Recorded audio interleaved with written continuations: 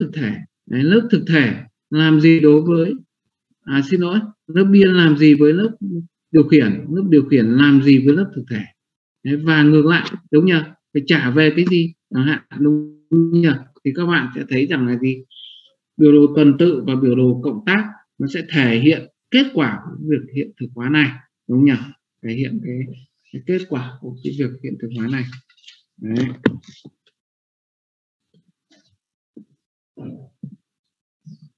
Ừ, chúng ta sẽ đến với cái phần biểu diễn à, giới thiệu về cái biểu đồ tương tác đúng nhỉ? Giới thiệu về biểu đồ tương tác. Đấy. thế thì biểu đồ tương tác của chúng ta là biểu diễn sự tương tác giữa các tác nhân ở bên ngoài với các đối tượng bên trong hệ thống cũng như là làm sao? Giữa các đối tượng bên trong hệ thống với nhau đúng nhỉ? Đấy các bạn sẽ thấy vừa rồi là hiện thực hóa là là gì? Đấy chúng ta phải làm sao phân phối trách nhiệm của ca sử dụng về cho các lớp phân tích. Đấy hay nói cái khác là làm sao? Xác định trách nhiệm vai trò sự tương tác đấy, giữa các lớp uh, phân tích đó đúng nhỉ? Giữa các lớp phân tích đó. Thì ở đây là làm sao? Biểu đồ tương tác chính là biểu diễn cái sự tương tác đúng nhỉ? Giữa các các uh, các lớp các đối tượng này bên trong hệ thống cũng như là làm sao với các tác nhân bên ngoài hệ thống. Thế thì ở đây các bạn sẽ thấy chúng ta sẽ có hai dạng của biểu đồ tương tác. Thứ nhất là cái biểu đồ tuần tự đúng nhỉ? Biểu đồ tuần tự thì các bạn sẽ thấy là tuần tự là làm sao?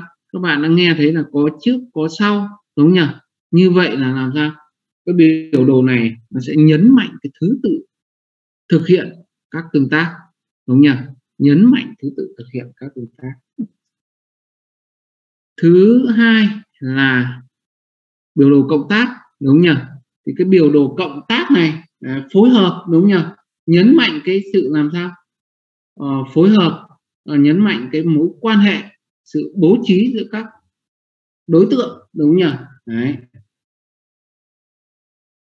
À, một cái là nhấn mạnh thứ tự một cái là làm sao? Nhấn mạnh cái sự phối hợp, đúng đúng nhỉ? Đấy. Thế thì ở đây thì ờ, các bạn chú ý là ờ, tùy vào cái yêu cầu hệ thống cụ thể thì chúng ta có thể lựa chọn một trong hai biểu đồ hoặc là cả hai. Đấy, bởi vì mỗi cái nó theo một cái khía cạnh khác nhau. Tại sao người ta lại nói có thể lựa chọn một trong hai? Bởi vì là làm sao? Giữa hai biểu đồ này có thể làm sao? Convert chuyển hóa cho nhau được. Đấy. Tức là ở đây là bản chất các thành phần của nó tương tự như nhau. Nhưng chỉ có điều là làm sao? Cách view cách hiển thị khác nhau nhằm nhấn mạnh các khía cạnh khác nhau. Đúng nhỉ? Nhằm nhấn mạnh các khía cạnh khác nhau. Cho nên người ta mới nói rằng là có thể lựa chọn một trong hai. Đúng nhỉ? Thế nhưng mà các bạn sẽ thấy là à, thông thường thì người ta sẽ sẽ sẽ thích cái biểu đồ tuần tự hơn đúng nhỉ? Bởi vì biểu đồ tuần tự thì làm sao? Chúng ta vẫn có thể nhìn thấy tương tác giữa các cái đối tượng một cách rõ ràng. Thứ hai là còn làm sao thấy được cái thứ tự thực hiện của của, của từng từ tương tác một. Đúng nhỉ? Đấy cho nên là người ta thường là làm sao? Người ta chọn cái biểu đồ tuần tự. Nếu người ta chỉ làm sao? Chọn một trong hai biểu đồ.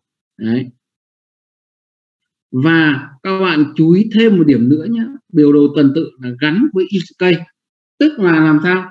Mỗi use case của chúng ta sẽ có một biểu đồ tuần tự đúng nhỉ? Đấy. Mỗi use case của chúng ta sẽ có một biểu đồ tuần tự.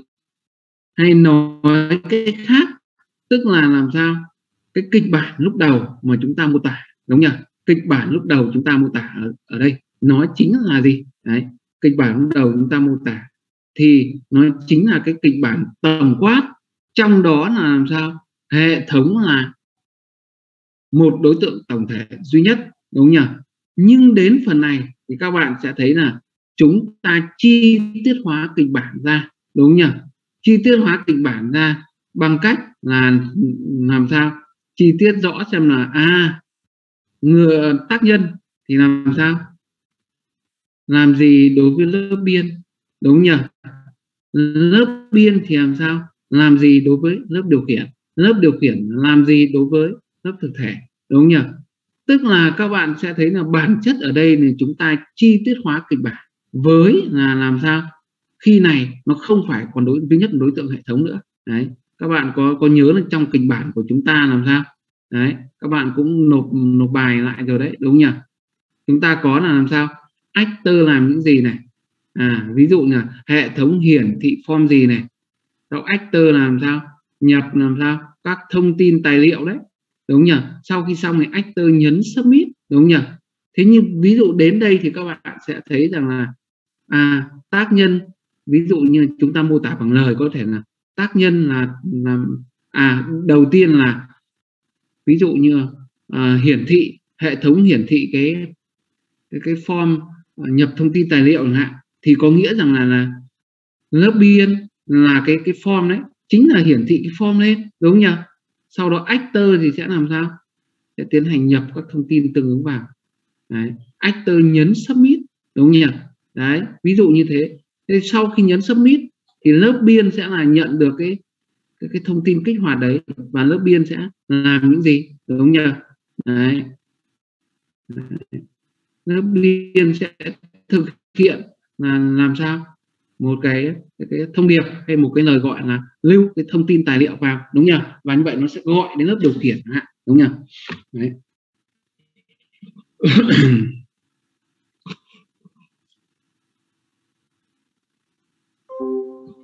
Các cái message trong cái biểu đồ tuần tự này. Đấy các cái message thì các bạn sẽ thấy rằng là gì? Ở cái à, kịch bản của chúng ta thì chúng ta làm sao là mô tả actor làm gì này hệ thống làm gì đúng nhỉ Đấy. tôi làm gì hệ thống ừ, làm gì Đấy. thế thì ở đây trong trường hợp này thì các bạn sẽ thấy là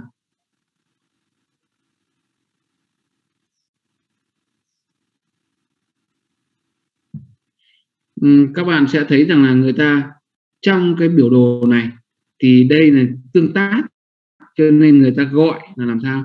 Là những cái thông điệp đúng nhỉ? Đấy gọi là những cái thông điệp à, giữa các đối tượng đúng nhỉ? Đấy thì tức là ở đây các bạn sẽ thấy rằng gì? Các thông điệp trong biểu đồ tuần tự sẽ biểu diễn lại cái thứ tự các cái quan hệ à xin lỗi thứ tự các cái sự kiện trong cái kịch bản của use case cả chuẩn cả có thể cả cả chuẩn cả cái ngoại lệ đúng nhỉ? Đấy. Thế thì cơ bản nhất đúng nhỉ? Cơ bản nhất là chúng ta phải biểu diễn được cái là gì? Là cái cái cái chuẩn đúng nhỉ? Đấy, ngoài ra extend thêm thì chúng ta sẽ bổ sung thêm các cái ngoại ngoại lệ nữa. Đấy. Ừ. thế nhưng mà các bạn chú ý là nó ở dạng chi tiết hơn đúng nhỉ? Điều quan trọng là các bạn hình dung là nó phải ở cái dạng chi tiết hơn. Đấy. Tức là ở đây nhá nó không còn phải chỉ là đối tượng hệ thống nữa mà nó là gì? À, thành ba cái đối tượng. Đấy. Đâu bạn à, Quốc Lộc đã vào chưa? À, em vào rồi à à, đi đâu đấy? À, em hơi đau bụng rồi hơi đau bụng cái gì? Không uh, linh tinh rồi nhá. Thế thôi. Em thế này em linh tinh đấy. Tôi tôi có cho phép là ra ngoài 10 phút đâu. Vào bắt đầu lại lấy lý do là không phải nhá. Đấy.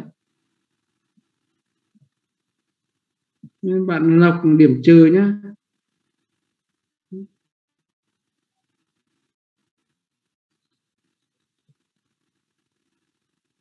Các bạn chú ý nhá. Bây giờ đây là chúng ta đang là giờ học nhá, chứ không phải chúng ta đang giờ chơi nhá. Đấy ra ngoài thì cũng tối đa là 5 phút thôi. Thế còn ở đây là tất nhiên ở đây là làm sao? Tôi ờ, ờ, ờ, đồng ý giả giả sử như là làm sao? Các bạn ví dụ đi vệ sinh chẳng hạn thì có thể lâu lâu hơn. Nhưng ở đây là làm sao? Tôi muốn thể hiện muốn các bạn thể hiện cái tính thành thực ra chứ không phải là bây giờ các bạn cứ uh, thấy là vì mình ra ngoài lâu bắt đầu là mình là làm sao? Đấy, xin phép lấy lý do đấy không không không phải nhá đấy. Đấy, nhắc để để các bạn chú ý chứ không phải là bây giờ chúng ta cứ thích thì chúng ta ra ngoài đúng nhỉ? Đấy. Sau đến đến lúc mà có bạn là làm sao? Nộp muộn muộn rồi chẳng hạn không đạt yêu cầu bài tập lại bảo thầy châm trước cho em nhé rồi chúng ta sẽ đến với cái biểu đồ tuần tự. Đấy.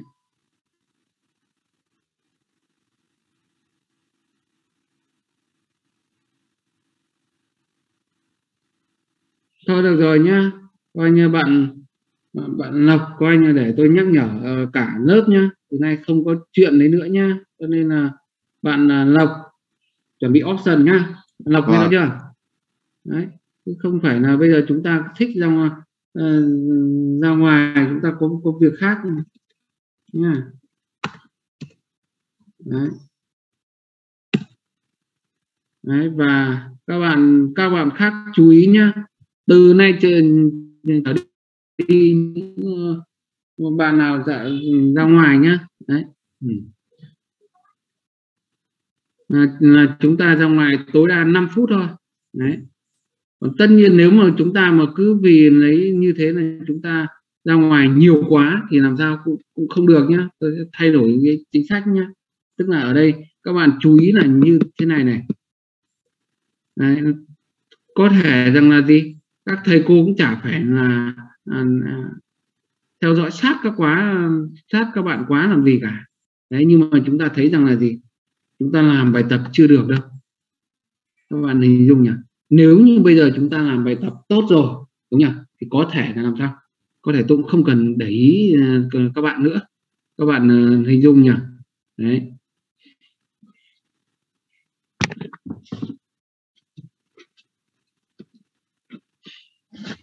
Biểu đồ tuần tự nhá, thì chúng ta sẽ đến với khái niệm về biểu đồ tuần tự. Tập ký hiệu UML cho biểu đồ tuần tự. Đấy. chúng ta sẽ đến với một số các chú ý khi mà chúng ta vẽ biểu đồ tuần tự. Và chúng ta sẽ xem ví dụ về biểu đồ tuần tự. Rồi, chúng ta xem xét cái cách mà chúng ta xây dựng cái biểu đồ tuần tự như nào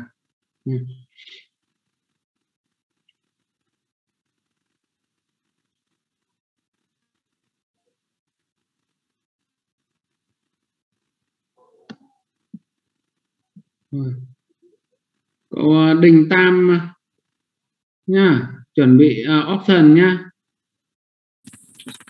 Em có thấy em bị làm gì đâu thầy em nhìn bài mà thầy Em đang nhìn bài á. Vâng. Sao, à, sao giờ Martin đấy Ừ. nhá. Vừa rồi là lơ mơ nhá. ô em không mơ là thầy Đình, Đình Tam nhá, chuẩn bị option nhá. Đấy nhá. Đó. Rửa rửa mặt nó đi chứ này. Bây giờ này chúng ta ngồi học chúng ta cũng lơ mơ như kiểu đâu chúng ta thầy em nhìn thẳng màn hình mà thầy Rồi nhá, không bạn không không không cãi nhá. Tôi tôi nhìn thấy rõ nhá. sau khi nói xong bắt đầu là bạn mới, mới tỉnh táo chưa trở lại nhá. Thôi chúng ta nghỉ giải lao một lát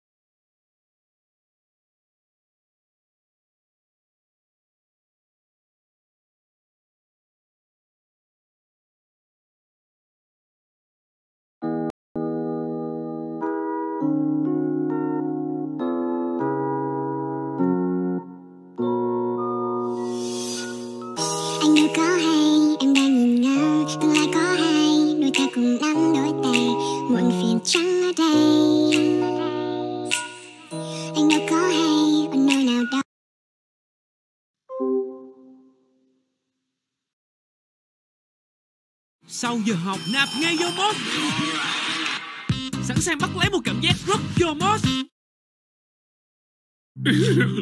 Anh không ngậm đâu Thiệt tình luôn. Nói Rằng chi vậy trời?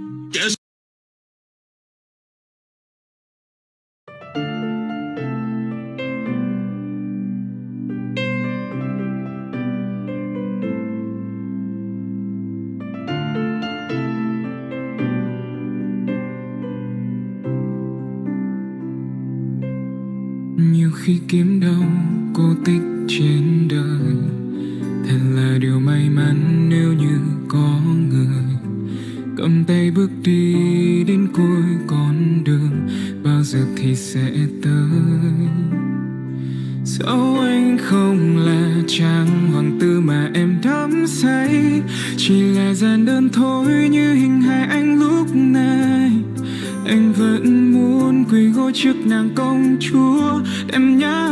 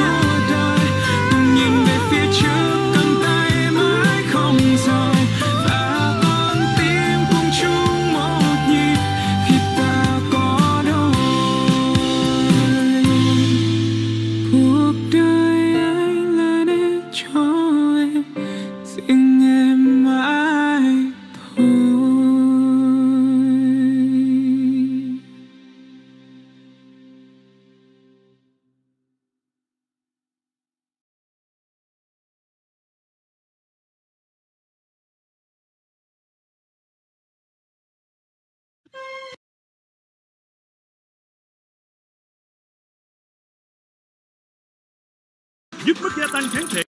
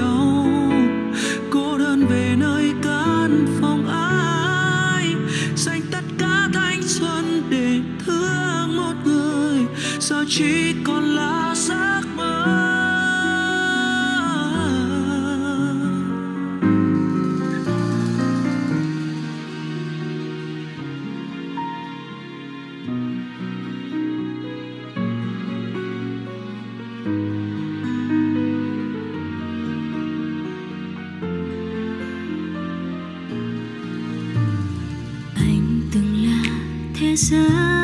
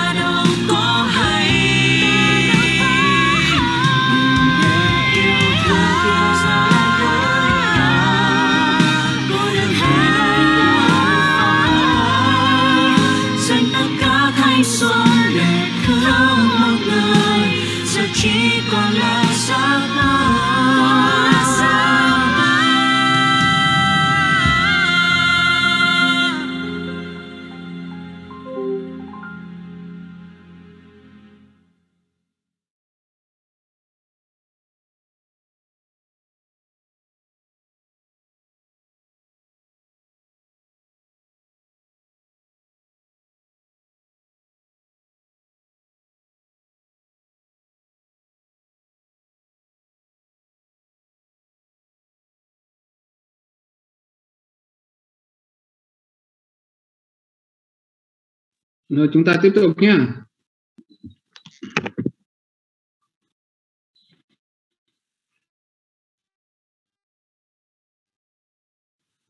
Rồi à, bạn lọc nào lọc đâu?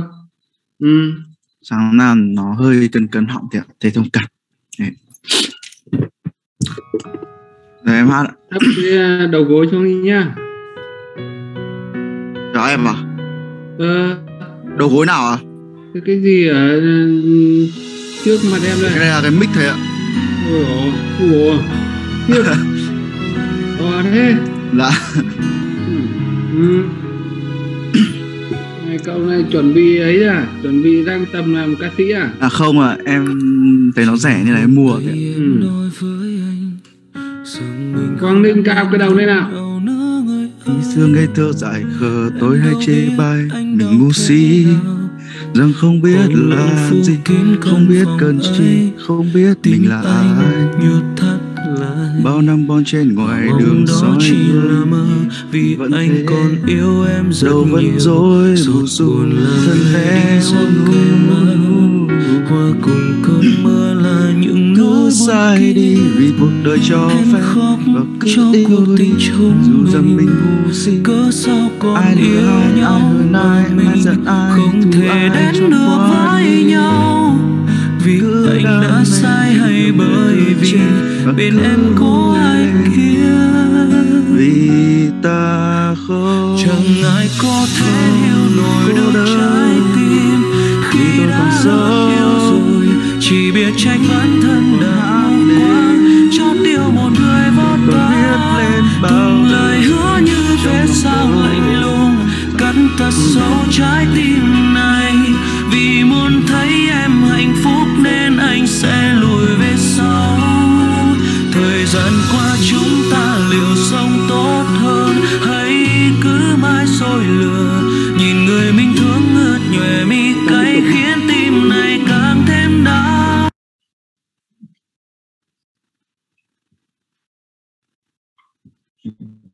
uh, biểu đồ tuần tự của chúng ta đúng nhỉ? Nó biểu diễn cái mối quan hệ giữa các đối tượng. Đấy. Uh, giữa các đối tượng và các tác nhân. Theo thứ tự thời gian. Đấy, đúng nhỉ? Thì tất nhiên các bạn sẽ thấy rằng mối quan hệ giữa các đối tượng và quan hệ giữa các tác nhân. Thì đây là làm sao đặc điểm chung của biểu đồ từ tương tác rồi đúng nhỉ? Thì cả biểu đồ tuần tự và biểu đồ cộng tác nó đều có điều này. Thế nhưng mà tuy nhiên thì các bạn sẽ thấy rằng là gì? Nó nhấn mạnh cái thứ tự um, thời gian thứ tự thực hiện của các cái tương tác đúng nhỉ? Giữa các đối tượng đó. Ừ, giữa các đối tượng đó.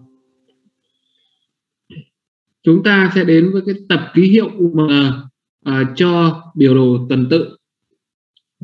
Tập ký hiệu UML cho biểu đồ tuần tự. Thì các bạn sẽ thấy là cái thành phần quan trọng nhất đó chính là các cái đối tượng, đúng nhỉ? Thì chúng ta sẽ phải có ký hiệu của đối tượng. Thì nó được biểu diễn bởi hình chữ nhật. Bên trong là tên đối tượng, đúng nhỉ? Thì cách viết chung của chúng ta là gì? Tên đối tượng, tên lớp. Tên đối tượng hai chấm tên lớp, đúng nhỉ? Thế thì nếu như chỉ viết là tên lớp thôi, đúng nhỉ? Thì chúng ta hiểu là mọi đối tượng thuộc về cái lớp đó đúng nhỉ Đấy. Đấy, mọi đối tượng thuộc về lớp đó. Thế đây là cái ký hiệu về về về đối tượng. Thành phần quan trọng thứ hai đó chính là gì? Các cái thông điệp message đúng nhỉ thì nó được biểu diễn mũi tên từ ờ, đối tượng gửi hướng sang đối tượng nhận đúng nhỉ ừ. Và ở trong cái biểu đồ tuần tự này thì các bạn sẽ thấy rằng là gì? Nó cho phép có những cái message mà làm sao? Uh, message mà từ cái một đối tượng gửi tới chính bản thân đó đúng không nhỉ? Từ đối tượng gửi tới chính bản thân nó. Tức là ở đây các bạn sẽ thấy là người ta sẽ có trường hợp là người ta có thể biểu diễn được. Tức là theo theo dạng giả sử bây giờ nhé Ờ, khi mà người ta lên một cái đơn hàng đúng nhỉ? Là nhập các thông tin tương ứng vào xong hết rồi đúng nhỉ? Thế giả sử bây giờ mà sau khi nhập thông tin vào thì là ờ, làm sao? Hệ thống sẽ uh, thực hiện việc tính toán xem là tổng tiền đúng nhỉ? Ví dụ như mỗi danh sách các mặt hàng mỗi mặt hàng có là gì? À, đơn giá số lượng đúng nhỉ? Thì như vậy các bạn sẽ thấy là gì? Người ta có thể tính được ra tổng tiền đúng nhỉ? Thế thì sau khi tính ra tổng tiền thì nó làm sao? Nó in luôn ra ờ, phần phần phần phần form đúng nhỉ? Đấy in luôn ra ở phần cuối form. Thế thì như vậy ờ, trường hợp này thì các bạn sẽ sẽ thấy rằng là là, là ở ngay cái lớp form đấy nó sẽ có một cái thông điệp gọi là in tổng tiền. Đấy, sau khi tổng tiền đã được được tính ở cái lớp điều khiển rồi đúng nhỉ? Thì nó sẽ tiến hành in ra màn hình à, ừm, thông báo ra màn hình. Thì lúc này các bạn sẽ thấy là chúng ta sẽ sử dụng cái ờ, thông điệp ờ, gửi đến chính bản thân nó. Tức là làm sao? Form sẽ gửi đến chính form đó. Đúng không nhỉ? Đấy, bạn bạn thu hàng hình dung chỗ này không? Dạ có ạ.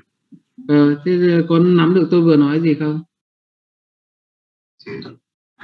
em chưa hiểu lắm thôi ạ. Chưa. Tôi hỏi là có nắm được tôi vừa nói cái gì không? Dạ có ạ. Ờ, tôi vừa nói cái gì?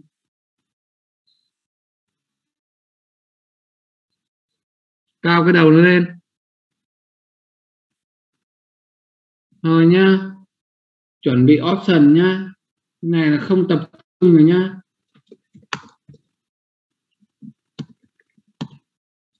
Đấy. các bạn không tập trung mà lại cái cái chuyện chưa hiểu được ngay thì nhất trí đúng nhỉ không có vấn đề gì nhưng ít nhất các bạn phải nắm được là à, vừa rồi là, là tôi đang nói về vấn đề gì chị bởi vì bây giờ cái đấy còn còn không chịu nghe nữa thì làm sao mà đấy.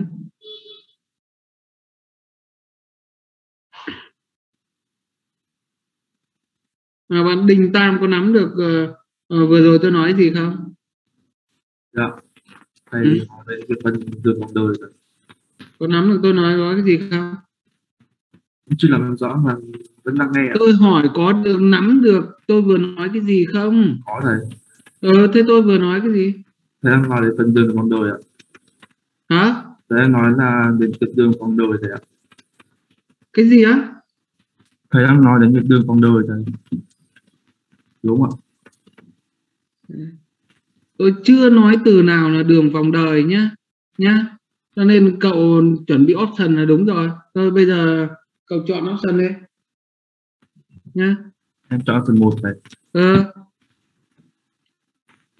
Hai con thần là con đua nhau cắn nhau đứt đuôi. Chặt thần buồn thiêu gọi chúng đến với mong cho. Hai con thần là con đua thì to đứt rồi. Ôi ơn đau quá trời chúng phúc ra tới vời.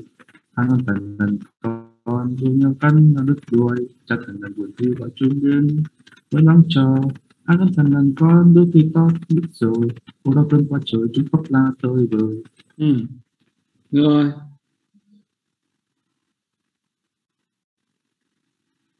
Bạn Duy Anh có có có nắm được ờ, điều tôi vừa mới trao đổi không? Dạ em chưa ạ. Em có hiểu câu hỏi của tôi không? Dạ em chưa nắm được ạ. Điều tôi vừa mới trao đổi là là cái gì? Em phải nghe được chứ. rồi cậu Duy Anh cũng chuẩn bị option nhé. Dạ vâng ạ.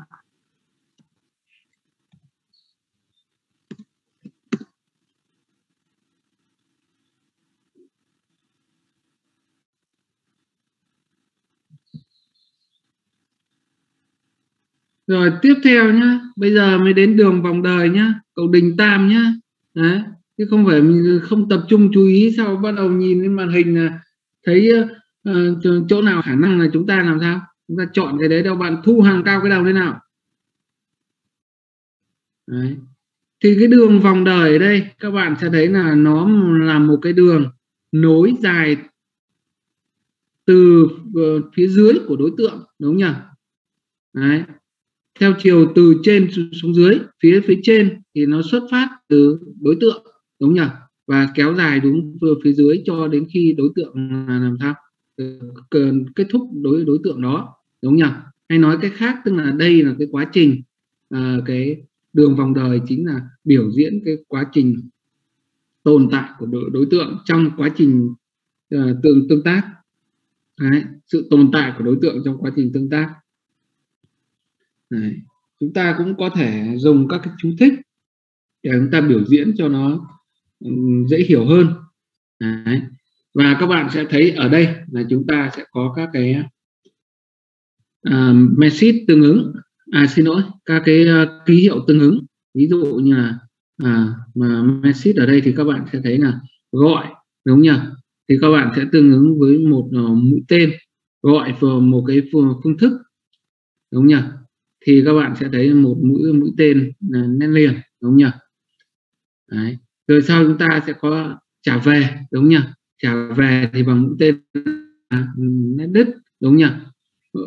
Phương thức gọi thì từ đối tượng gửi sang đối tượng nhận nhưng phương thức trả về thì tức là gì? Đấy. Sau khi mà làm sao được gọi xong rồi thì cái đối tượng nhận kia sẽ làm sao trả về à, cái kết quả cho cái đối tượng làm sao? Đối tượng gửi đúng không nhỉ? Ừ. tiếp theo là gửi đúng nhỉ? Đấy, rồi à, nếu cần thì chúng ta có thể có là tạo đối tượng rồi hủy rồi đối tượng đúng nhỉ? Đấy thông thường cái phần dưới này ít dùng hơn bởi vì là thường là chúng ta liên quan đến làm làm sao? Chúng ta chúng ta uh, biểu diễn cái cái cái sự tự, tương tác đúng nhỉ? Đấy. Chúng ta sẽ đến với một số cái chú ý à, khi mà chúng ta vẽ cái biểu đồ tuần tự đúng nhỉ? Đấy.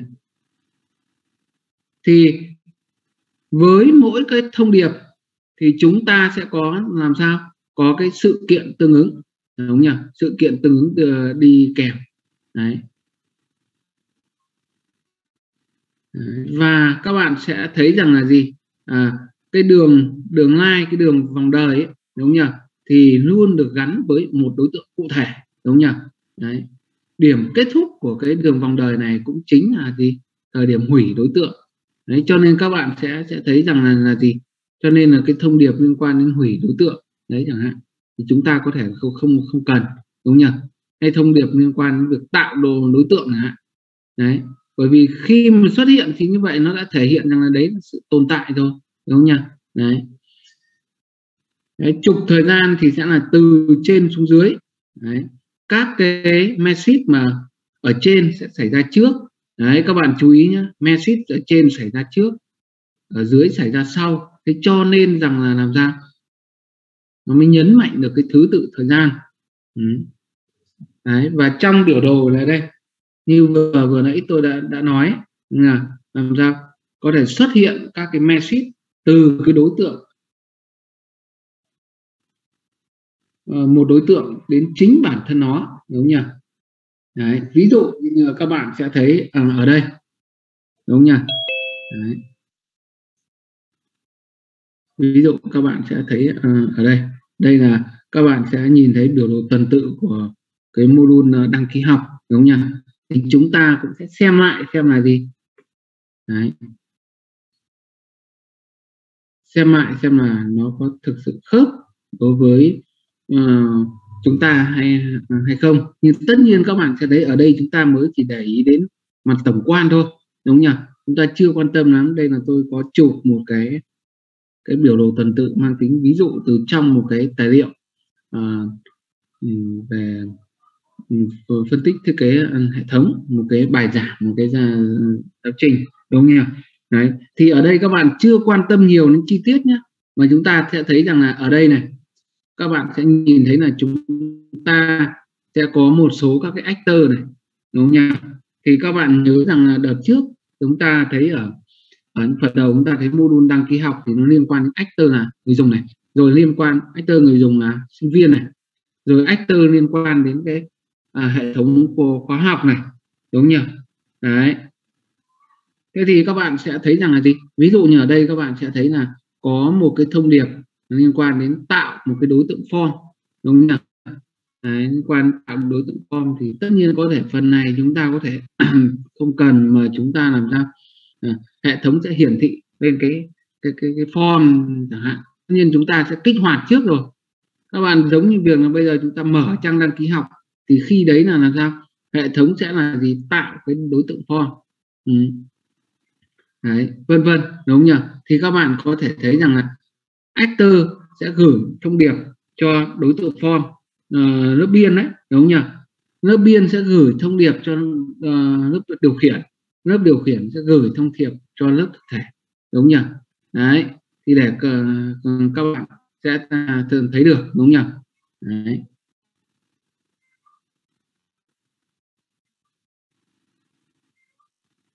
Đấy. và các bạn nhìn nhé ở đây vì nó liên quan đến một cái actor hệ thống khác hóa học. Cho nên các bạn sẽ thấy ở đây chúng ta sẽ có một cái lớp biên là hệ thống danh mục hóa học nữa đúng nhỉ? Đấy thì lớp điều khiển của chúng ta sẽ gửi ra uh, lớp biên và lớp biên sẽ làm ra hệ thống danh mục hóa học này sẽ uh, gửi yêu cầu đến cho cho cho actor chính là cái hệ thống khác đúng nhỉ? Đấy, hệ thống khác uh, tương ứng. Đấy khi để uh, các bạn uh, nhìn thấy rõ hơn. Và ở đây thì các bạn sẽ nhìn thấy là nhá. Có cái thông điệp uh, số 5 đấy là hiển thị. Đấy đúng nhỉ? Đấy, để display cost on offerings đúng nhỉ? Thì các bạn sẽ đấy đây là cái thông điệp người ta gọi là thông điệp phản thân. Tức là làm sao? Nó gửi thông điệp này được gửi cho tới chính nó đúng nhỉ? Thông điệp này gửi đến uh, chính nó. Đấy. Bạn bạn nào quốc lộc đã nhìn thấy rõ chưa? Dạ. ừ. nắm được điều tôi vừa nói không? Mà em này hơi lắc thế, nắm bừa không ạ? không phải hơi lác đâu nhá. Nhá không để ý rồi. Ừ, em tưởng tôi không không nắm được à đó.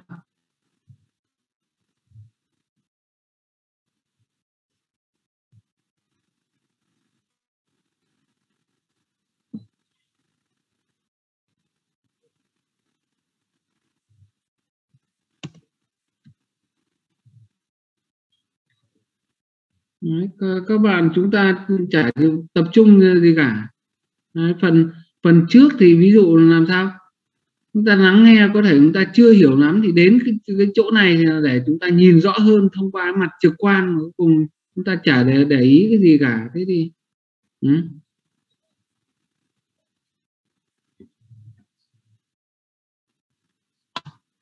quốc lộc nhá chuẩn bị option tiếp theo nhá Đấy.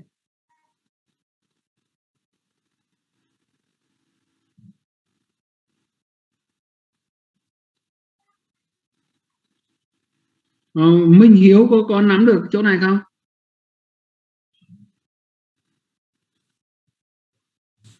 Em cũng chưa nắm được rõ lắm. Thế em có biết là tôi vừa nói về điều gì không?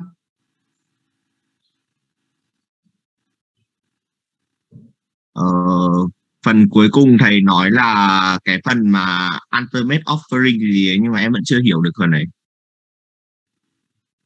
Đâu tôi nói gì về ultimate uh, offering nào đâu? À đâu không? Cái gì nhỉ? Get caught offering cái gì gì ấy. Đoạn đấy là ở phần 3 4 ở Không thể nói đến cái, cái đấy nhá. Như vậy chứng tỏ Không, em nhớ chắc vào- em không cái cái cái đấy em nhớ chắc chắn là thầy nó đến phần offer còn nếu em sai Ờ, thì em nhá. cho option Minh Thì- Hiếu chuẩn bị option nhá. Đấy. Như vậy là sẽ không hình dung được là đang về ph- phần nào rồi. Đấy. À, chúng ta sẽ đến với phần xây dựng cái biểu đồ tuần tự đúng không nhỉ? à, Xây dựng biểu đồ tuần tự. Đấy. Thì biểu đồ tuần tự này chúng ta sẽ mô tả lại cái kịch bản hay nói cái khác là chúng ta nâng cấp cái kịch bản đúng không nhỉ nâng cấp các kịch bản lúc đầu nó chỉ xoay quanh hai đối tượng Quang Linh cao cái đầu lên nào người cái gì đấy đó Quang Linh chọn option chuẩn bị option nhá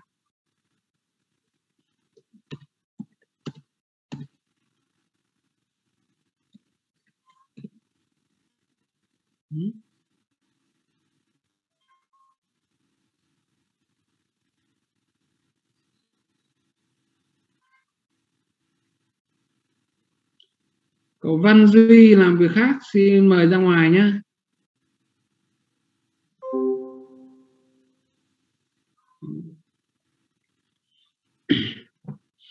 Đấy, chúng ta nâng cấp cái kịch bản lên đúng nhỉ? Đấy. Nâng cấp cái kịch bản lên tức là ở đây các bạn thấy rằng là gì?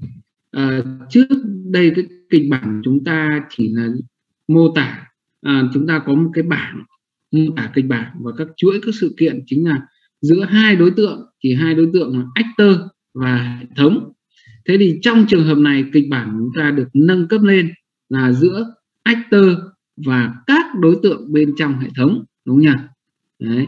thứ tự thực hiện trong biểu đồ là làm sao? Từ trên xuống xuống dưới đúng nhỉ?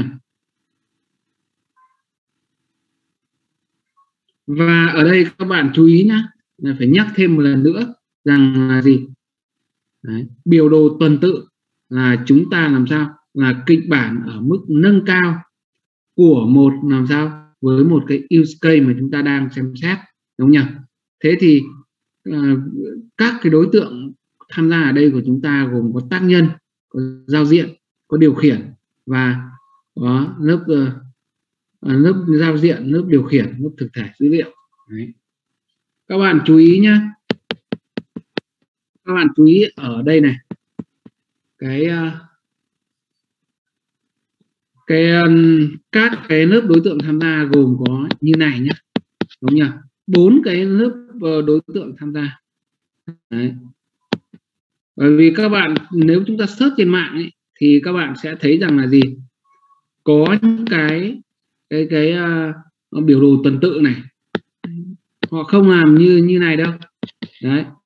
Họ có là, là gì? Biểu đồ tuần tự gồm các đối tượng là actor này đấy, system này uh, cơ sở dữ liệu này à, actor này uh, giao diện này uh, hệ thống này và cơ sở dữ liệu này cái đấy là, là, là sai đấy nhá. Đấy. đấy cho nên là các bạn chúng ta không chú ý nghe xong lên trên mạng ta thấy là a à, cái này hao hao giống biểu đồ tuần tự chúng ta đưa vào mà, mà không phải đấy nhá. Đấy. Để cho chúng ta sẽ sẽ, sẽ thấy thấy được đấy. Ừ.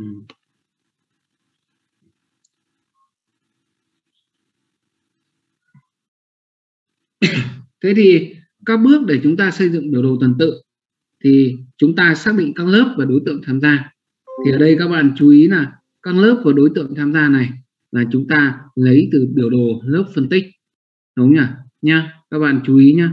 Chúng ta lấy từ biểu đồ lớp lớp phân tích. Đấy. các bạn nhớ nha chứ không sau đến lúc lại không biết nó từ đâu ra cả. Đấy. À, bước thứ hai là chúng ta sẽ phân phối hành vi xác định thông điệp cho lớp và đối tượng đúng nhỉ? Lớp và đối tượng. Ừ. thế thì chúng ta ví dụ với cái chức năng thêm tài liệu đúng nhỉ? Các đối tượng tham gia bao gồm đúng nhỉ? Chúng ta vẽ biểu đồ lớp phân tích rồi. Như vậy chúng ta sẽ thấy là có actor thủ thư này. Thứ hai là có đối tượng form thêm tài liệu này. Thứ ba là đối tượng điều khiển thêm tài liệu. Thứ tư là đối tượng à, thực thể thông tin tài liệu đấy đúng nhỉ? Thực thể thông tin tài liệu. Đấy. À, xác định các lớp đúng nhỉ? Thì bản chất ở đây là chúng ta kéo ra từ làm sao? Từ cái lớp lớp lớp uh, biểu đồ lớp phân tích thôi đúng nhỉ? Có một thủ thư này form thêm tài liệu này điều khiển thêm tài liệu. Và chúng ta có là gì? Thực thể tài liệu đúng nhỉ? Thực thể tài liệu đúng. Chúng ta sẽ đến với phần phân phối đúng nhỉ ừ. từ từ đã. Bây giờ chúng ta phải giải phóng bớt đi đã đúng nhỉ Thu Hằng chọn option nào? Chọn option 1 ạ. Ừ.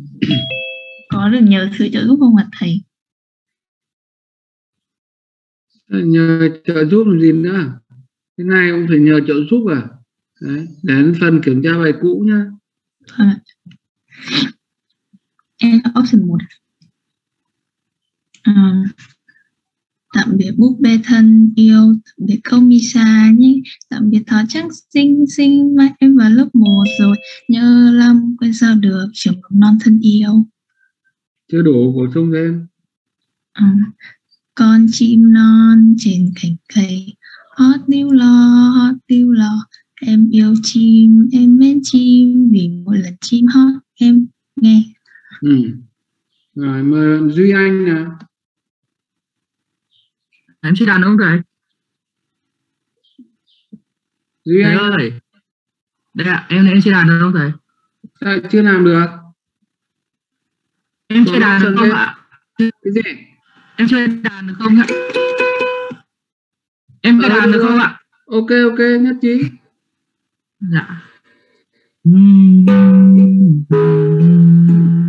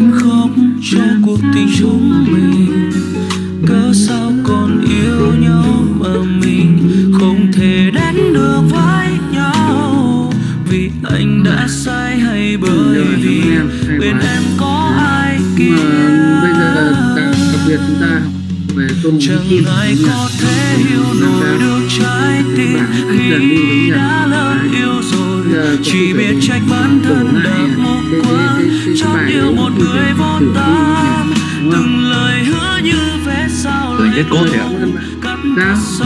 Tôi thành viết cốt thế ạ? vì muốn thấy em hạnh cốt à? phúc nên anh sẽ lùi cốt à thời gian qua chúng ta liệu sống tốt hơn hay Bức cốt thế ạ? Lỗi nhìn người Bức mình cốt thương à? ngợt ghề mi cay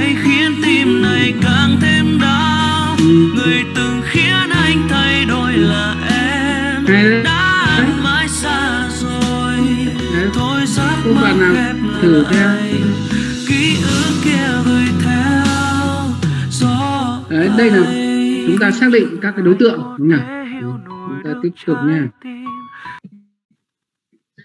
À, chúng ta sẽ phân phối. Đúng nhỉ? Chúng ta sẽ phân phối cái hành vi à, trách nhiệm của ISK vào trong các cái uh, lớp và các đối tượng. Thế thì ở đây các bạn sẽ thấy là chúng ta có là gì?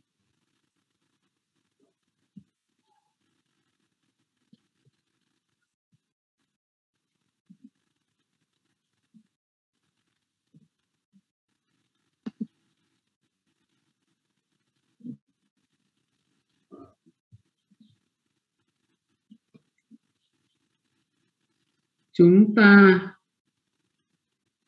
chúng ta sẽ sẽ có ba lớp đối tượng khác nhau.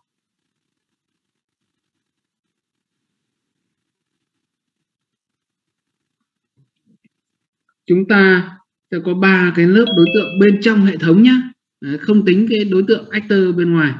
Thì chúng ta sẽ có lớp biên là tương với hành vi giao tiếp liên quan tới các cái tác nhân đúng không nhỉ?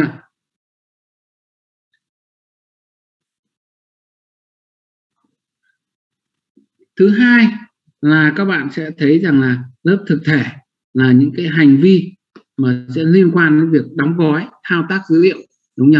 Đấy cái này chúng ta suy ra từ phần phần phần trước rồi đúng nhỉ? Lớp điều khiển đúng nhỉ? Lớp uh, điều khiển thì các hành vi đặc trưng cho một uh, use case đúng nhỉ? Nó liên quan đến việc điều phối và xử lý công việc của use case đó. Đấy, ví dụ như uh, use case là thêm tài liệu chẳng hạn thì rõ ràng ở đây các bạn sẽ thấy lớp điều khiển của chúng ta là làm sao? Tương ứng với cái việc là thêm tài liệu đúng nhỉ? Đấy.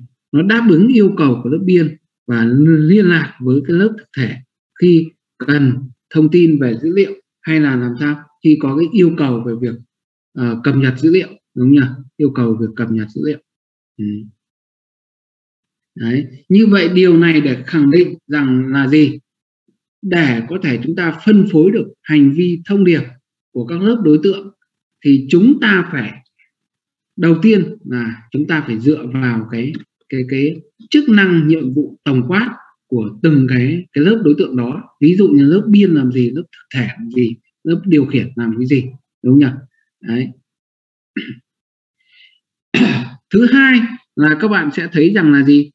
Chúng ta phải chính là cái dựa trên cái nhiệm vụ của cái use case đó đúng nhỉ?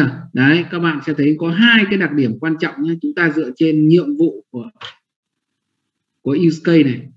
Chúng ta dựa trên cái chức năng nhiệm vụ của từng lớp đối tượng đó đúng nhỉ? Đấy. Và uh, tiếp theo thì chúng ta sẽ có một cái cái, cái quy tắc để chúng ta phân phối hành vi cho lớp đối tượng. Tức là các bạn sẽ thấy ở đây khi này nhé uh, ờ, chúng ta không quy về là gì? Actor hay lớp biên lớp điều khiển hay lớp thực thể nữa mà chúng ta chỉ quy về thành có hai cái loại lớp tổng quát hơn. Đó chính là đối tượng khách và đối tượng cung cấp thế thì các bạn sẽ thấy rằng là thông điệp của chúng ta đúng nhỉ? Thông điệp của yêu cầu nhá. Các bạn chú ý là thông điệp yêu cầu của chúng ta. Thông thường chúng ta sẽ xác định là xuất phát từ đối tượng khách sang đối tượng cung cấp. Đấy. xuất phát từ đối tượng khách sang đối tượng của ừ, cùng cung cấp.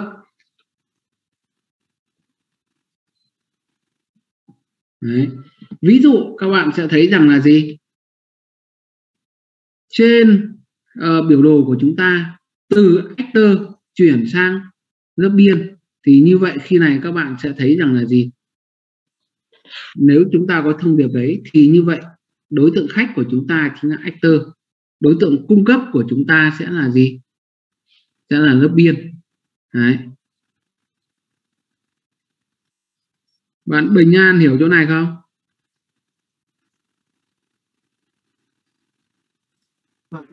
Tạm ổn ạ. Tạm ổn à? Có có nắm được tôi vừa nói gì không? Giá phần vector hả?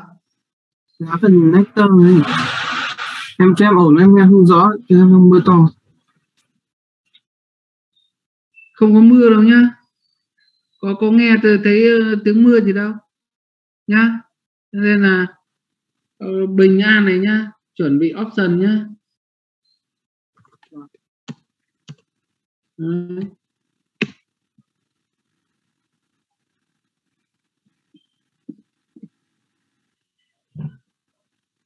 Đấy, các bạn sẽ thấy rằng là ví dụ đầu tiên có thể là gì? Đối tượng khách chính là làm sao? Đối tượng khách chính là actor đối tượng cung cấp ở đây chính là lớp biên đúng không nhỉ? Trường hợp thứ hai là gì? Đối tượng khách của chúng ta là gì? Lớp biên đúng không nhỉ? Đấy.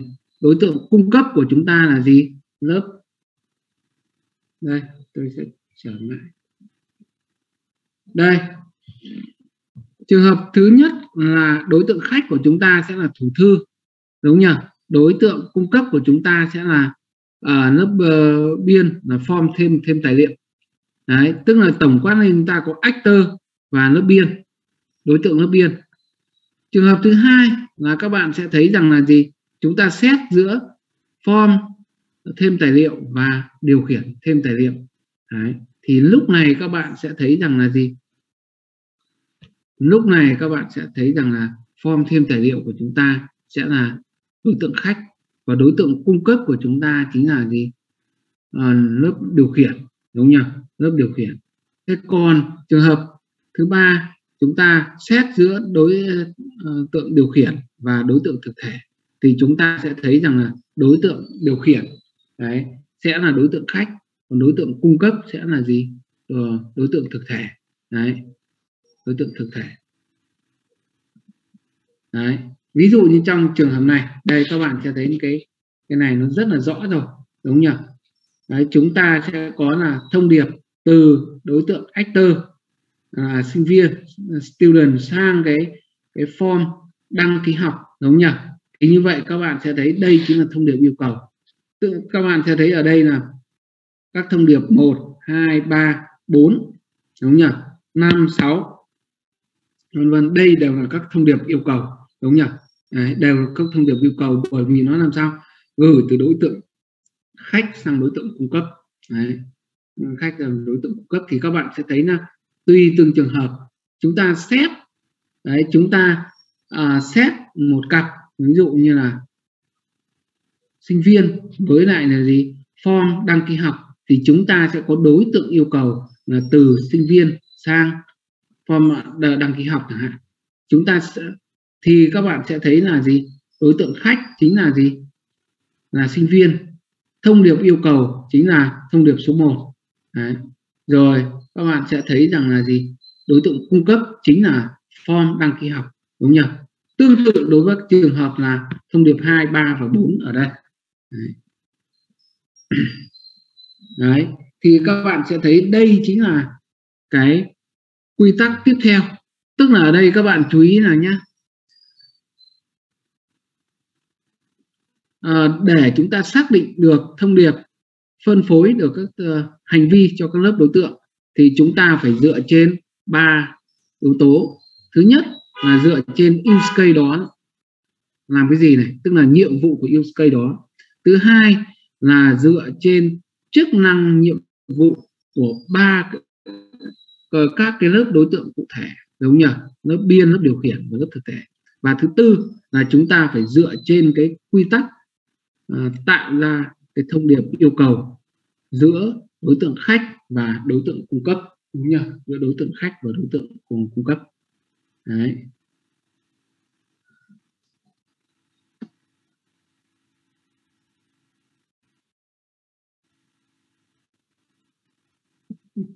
Quốc Lộc chọn option nào? Em chọn một thôi ạ. Ừ. Tôi đang ở một nơi rất xa, nơi không có khói bụi thành phố. Ở một nơi đẹp như mơ. Trên cao em em mây trắng bay, lặng nhìn biển rộng sông vỗ, Cuộc đời tôi là những chuyến đi dài, vượt suối đất, vượt núi dốc, dù tranh vênh có xa gì, có biết bao thứ tươi đẹp vẫn cứ ở đó đang chờ tôi. Người xung quanh ở nơi đây thật dễ men sông mới gặp, ánh mắt lấp lánh hiền hòa chào tôi, chào người bạn mới. Từng chặng đường dài mà ta qua, giờ ngồi một mình lại thấy nhớ. Ngày ngày mặt trời rằng người vẫn cao lên từng trên mái nhà. Từng chặng đường dài mà ta qua, điều đây là kỷ niệm quý giá. Để lại một điều rằng càng thêm xa, ta càng thêm nhớ nhà. Đi thật xa để trở về, đi thật xa để trở về có một nơi để trở về đi đi để trở về Ừ, Sau rồi, rồi cảm ơn em. Cảm ơn em. Minh Hiếu nào? đây ạ, em bài gì rồi nhỉ?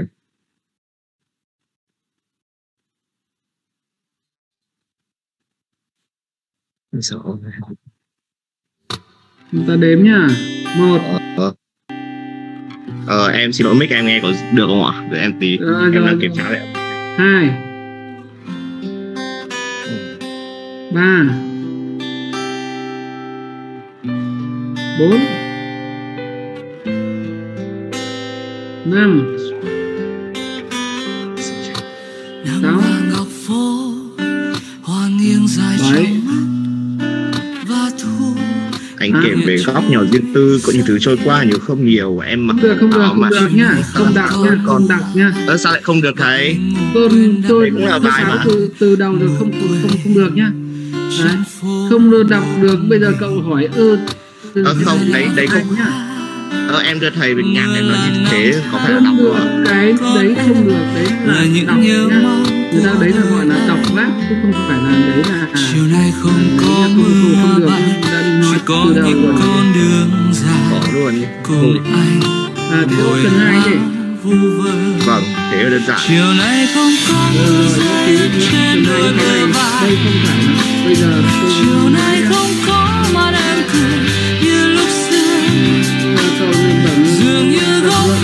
cũng biết buồn